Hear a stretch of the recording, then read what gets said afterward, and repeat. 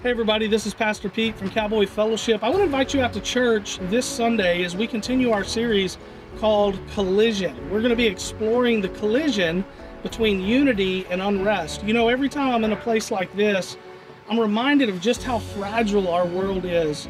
I'm reminded of the fact that at some point, each and every one of these vehicles was brand new. It was rolling off the assembly line.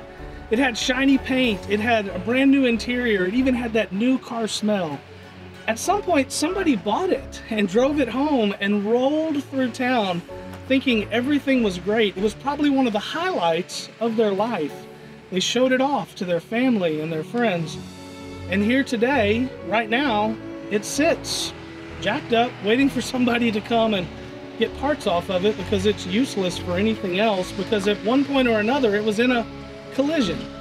You know, sometimes our lives can feel that way because we have collisions in our relationships and in our marriages and in our friendships, and this unrest enters into our life and we don't know what to do with it. That's what we're going to be talking about this week is how we can get back to the unity that God calls us to and not this division or this unrest that the devil is leading us toward every day of our life.